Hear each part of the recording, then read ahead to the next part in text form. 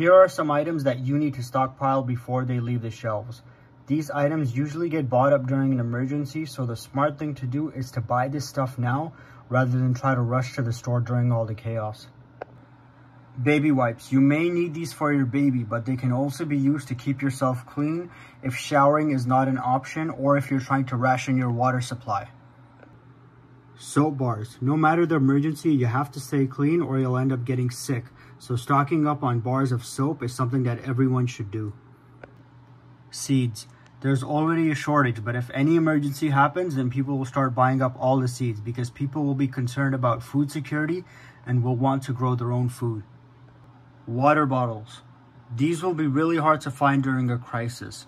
I remember during the craziness a couple years ago, people would go line up outside Costco and the employee would come out and yell to the people in line that they're out of bottled water. So there's a high chance that it'll happen again if a major emergency happens. Baby formula. If you have a baby who needs this stuff and you can't find it, that's a major issue.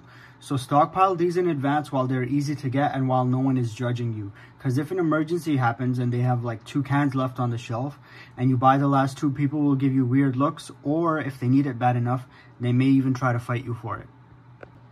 So always try and keep two to three extras of these and rotate them as they get close to expiration.